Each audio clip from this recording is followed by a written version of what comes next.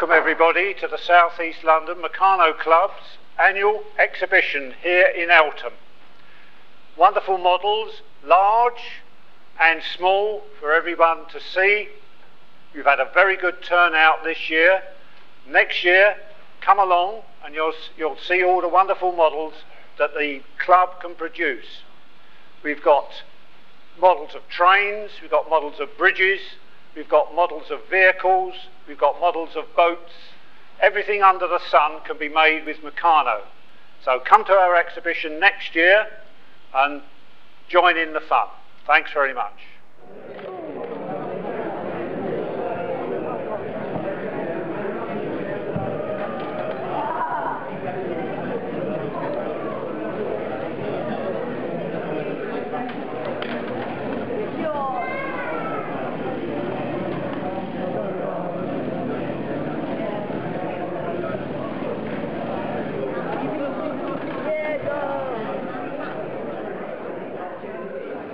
Uh, this is a, a ma uh, MW manual uh, model, a recent one, uh, but uh, an electrically uh, driven with batteries on the back of the unit, light milk floats. they were fairly successful, but um, only lasted in British Railway service for probably two or three years, as they weren't sufficiently powerful to move the loads that were required.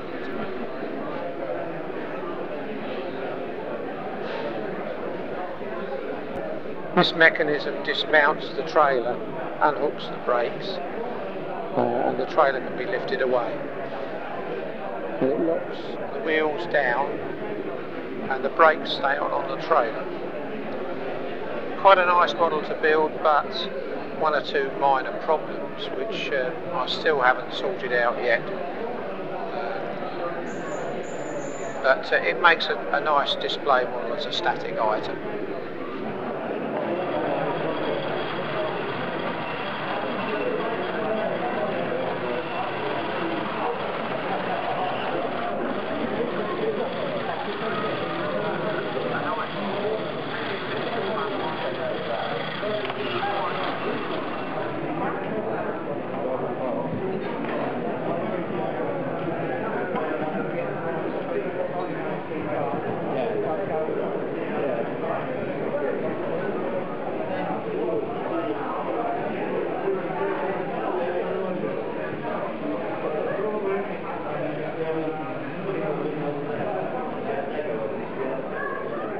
This model is a motor chassis um, dating from about 1928, the original design, with a three-speed forward and reverse gearbox, working differential, a working clutch and Ackermann steering. A classic design.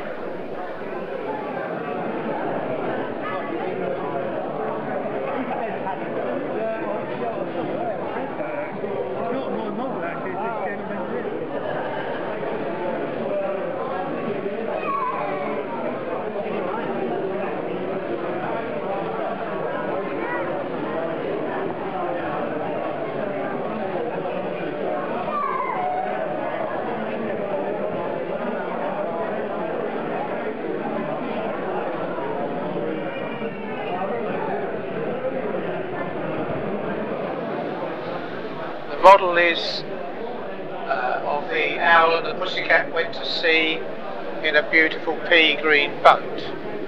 Uh, some people have said that green is too dark, and I said, well, they're dark green peas on my boat. Um, it's based on a model shown in Constructor Quarterly some time ago. Uh, it took about three or four weeks to put together, uh, and there's been uh, quite a few shows over the last two years and is still working very successfully. And uh, I'm grateful to whoever designed the original model.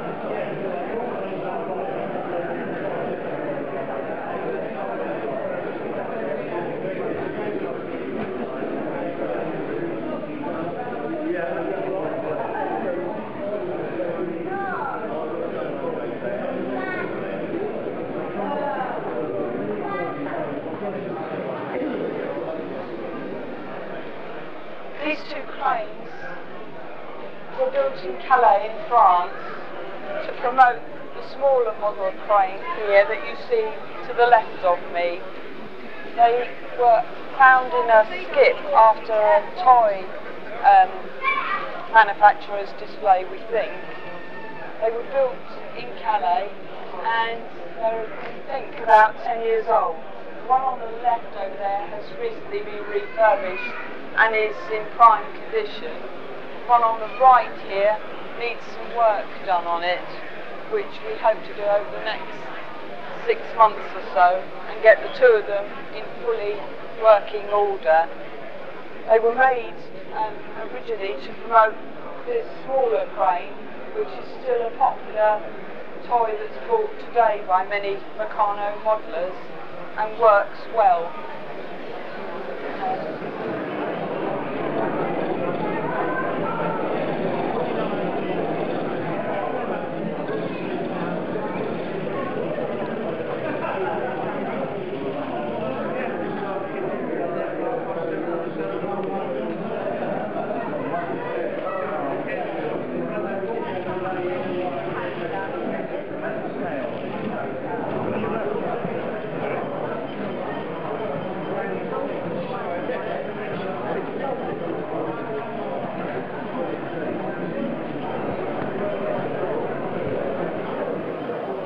This model is a uh, fairly good sized model of a schools class locomotive in just post-war red and green Meccano.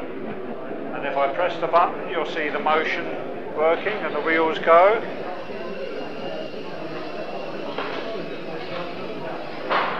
And as you see it's complete with its tender and you would need a number 10 set to build this model. Just in front of it are two other items produced by Meccano, Dinky Builder, which is for younger children, not strictly speaking Meccano, but uh, made by the same firm, and a totally unused number 4A set, still strung in its original box. It looks very attractive, but being totally unused, just a little bit sad, but people like to see it on display.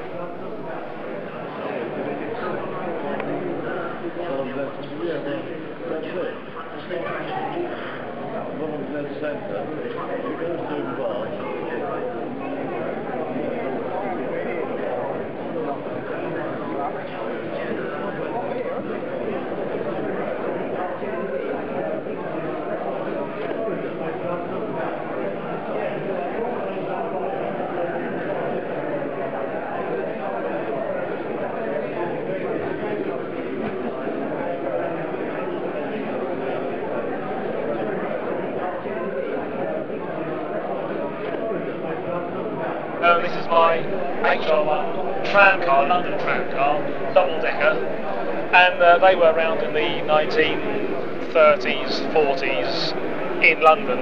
And uh, HR, because it stands for Hilly Routes, each truck, they call them trucks, the bogies on a tram is called a truck. Each truck has got, in the original, two motors, um, whereas most trams had maximum traction bogies, trucks with a single motor in each in each truck. But for the Meccano model, I've actually only got a single motor in each in each bogie. So the tram, the model itself, has got two motors. I did try it with four motors, but it kept on tripping out the transformer.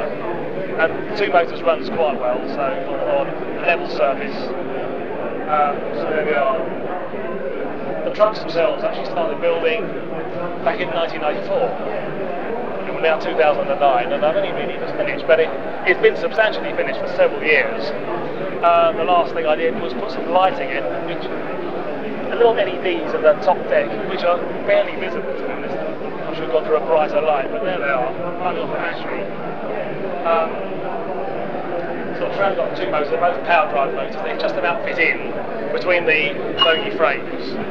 So the first thing I did was build the bogies, and then I worked my way up, building the deck, most of the tram, there are no real mechanics in the tram. The motor just runs straight, just through a single spur um, gears, straight onto the axle. Um, there's a little bit of suspension, so the tram will rock very slightly. There's a little bit of movement there. Um, and most of also the tram is just sort of the coachwork and plates and so on. Uh, the seats, all the seats, as in a real tram of that age, flip, so the seat mat flip from one side. I it in one position, but they will all tip in the direction of travel. Um, the step for the passengers um, can retract when the motor is to this end. The step will be flipped up and the, will reveal the lifeguard. And there lifeguards around the whole front end underneath the platform to stop stray dogs, children or people don't accidentally might fall in front of the tram. Uh, that will keep them out. And in the real thing, I think the this lower section of uh, lifeguard can actually be dropped down onto the road.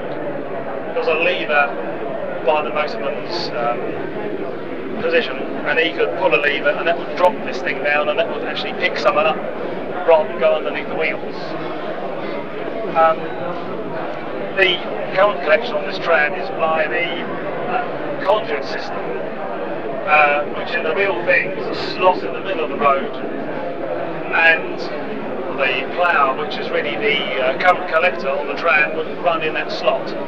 For the model, it is just a surface contact um, thing with um, two pulleys on a little sort of a T-shaped arm, an upside down T running on the top of this, and then it's picked up by down here two um, channel segments that sections that run across, and the the top of the plough sits in that. The current is picked up through the conductor rail, up through the plough, and a wiper arm on the back of each, on the inside of each of the trucks, that bears on the on these two channels, and that completes the circuit, and the power is returned through the main running rails. So this this third rail in the middle is supported on insulated fish plates and um, strips and so on.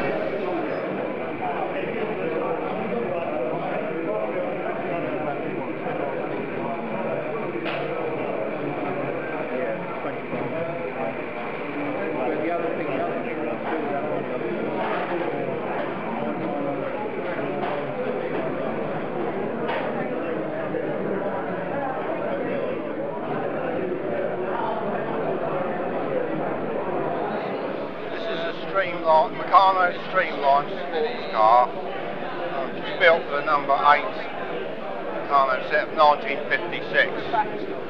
This uh, car is really similar to the early Jaguars.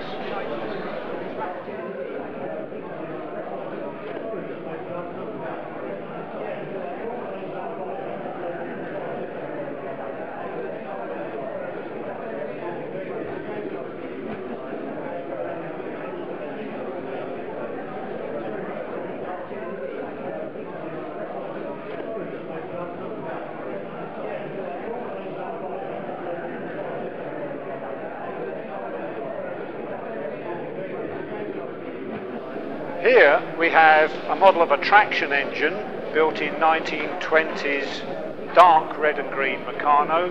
The original design for this came out about the same time and it shows the motion of the uh, of the crank and the eccentric and is typical of the traction engines that were produced in, from the middle of the 19th century right up into the early 30s and just behind them are a couple of vintage sets.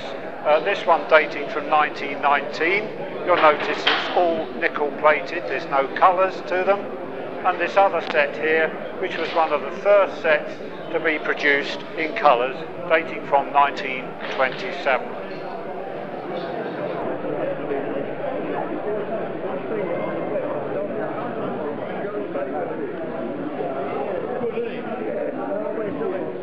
Thank you.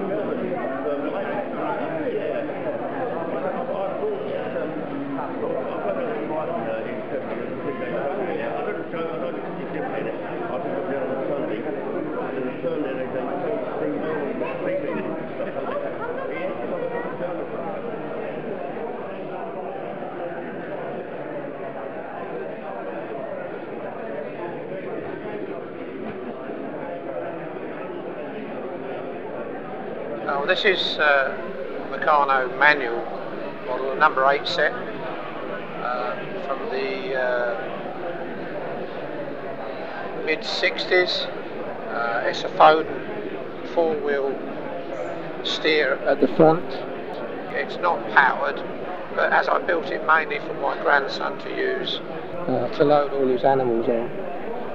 But it's a nice model to build and um, took about a week to put together.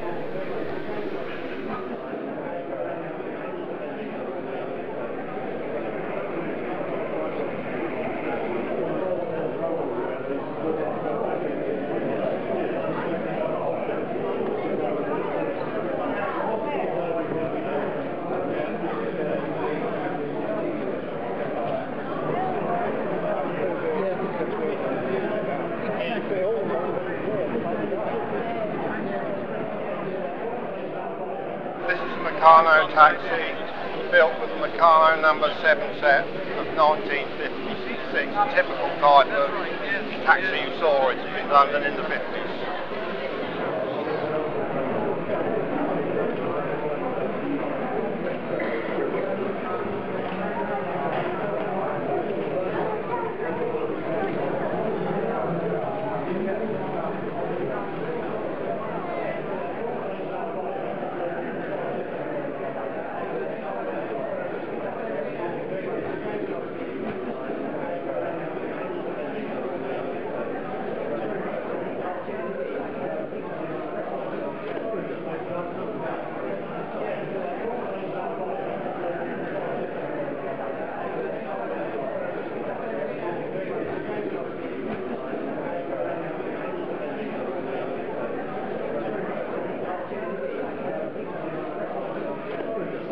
Anna and Chris were asked to design a, a bridge to span the ship canal between the Lowry and the Imperial Institute North.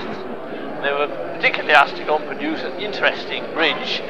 They decided to produce this folding design, which I think most people agree is an interesting uh, uh, solution to the problem. Uh, the idea was not entirely original. There are two similar, there were a couple of similar bridges um, across uh, uh, in use in the Chicago elevated railway system.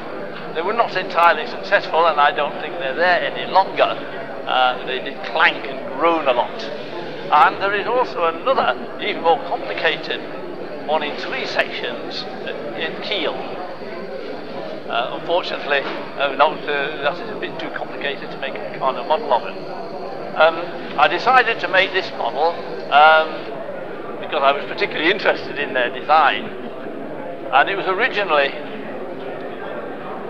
uh, built uh, with just the standard Meccano uh, auto reversing mechanism, which it still has, which can be used when the computer isn't available. Now uh, it, is, it is being converted to use uh, to be operated by a computer.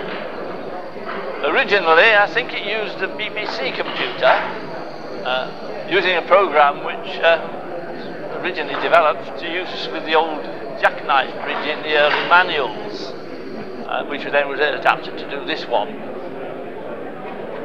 And as you can see, the computer controls both the lifting of the bridge uh, the gates, and also it works the traffic lights as well. The original um, uh, version used BBC computer with a, an interface using the parallel port, and later on it uh, was changed to uh, using a, a PC. Again, with, a, with, with another inter interface using the parallel port this time using BBC Basic 86. Since then, um, the, the, computers have uh, died, the model hasn't, and it is now using uh, BBC Basic for Windows, using a, a fairly recent uh, laptop, laptop using Windows Vista. The interface has been changed to uh, a Velleman uh, P8053 uh, and there are two relay boards uh, to control the motor, the motors. There are eight relays in use, um, two each for each of the three motors, and two for the traffic lights. And there are five inputs, uh, two of which pick up the uh, when the gates are open or closed. Uh, another one detects whether the bridge is open or closed, and, and another one uh, counts the number of revolutions of the, of the, uh, of the motor control lifting and lowering the bridge. And this one, uh, these contacts are arranged so that they can display on the computer screen the behavior of the bridge. And so you can watch the bridge go up and down both in real life and on the computer screen.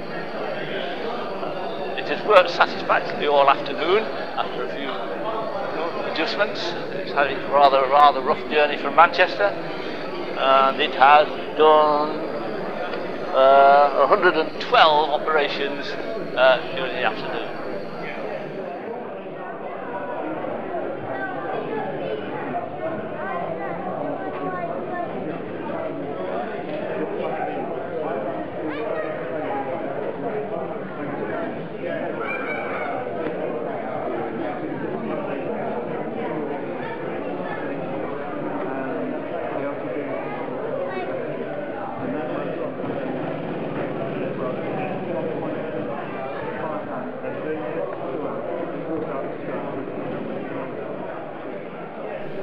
Model here is a toy shop display model of a big wheel with illuminated base and uh, coloured lights and it dates from the 1940s, 1950s in red and green Meccano.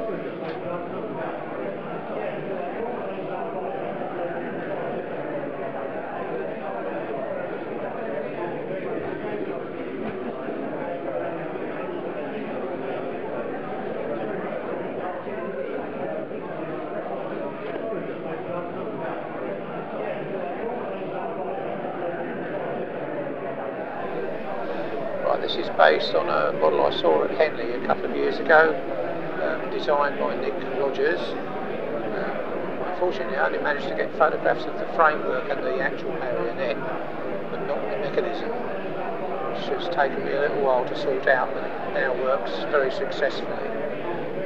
The lid hinges so you can see the works inside. Uh, it's powered by one of Dave Taylor's uh, can motors running at a very slow speed. Uh, as you can see, it's mainly cans, chain and string, which one or two of my friends know my aversion to string in Meccano models. Um, it took about a week to sort out the movements to avoid both legs, arms going up at the same time but uh, once it's organised it runs very well quietly and uh, can be left alone all day.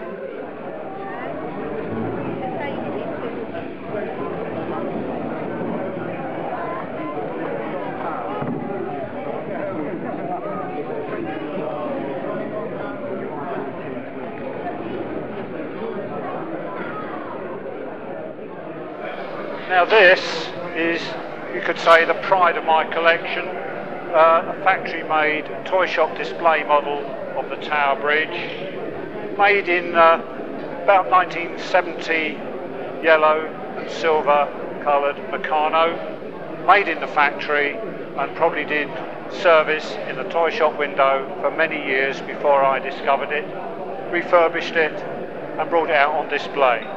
It works uh, flashing, well with coloured lights and raising bascules.